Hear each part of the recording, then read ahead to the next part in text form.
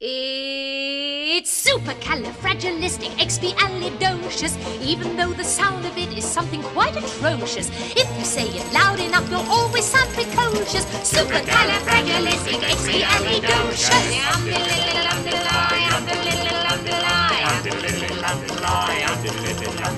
Because I was afraid to speak when I was just a lad. My father gave me nails a tweak and told me I was bad. But then one day I learned a word to save me aching nose. The biggest word you've ever heard, and this is how it goes. Oh, supercalifragilistic, gets me out of supercalifragilisticexpialidocious, even though the sound of it is something quite atrocious. If you say it loud enough, you'll always sound conscious. Supercalifragilistic, gets me out precocious. Supercalifragilisticexpialidocious. Underline, underline, underline, He travelled all around the world, and everywhere he went, he'd use his word, and all would say, "There goes a clever gent." When Dukes and Martha Rogers pass a time of day with me, I say me special word and leave me off me to tea.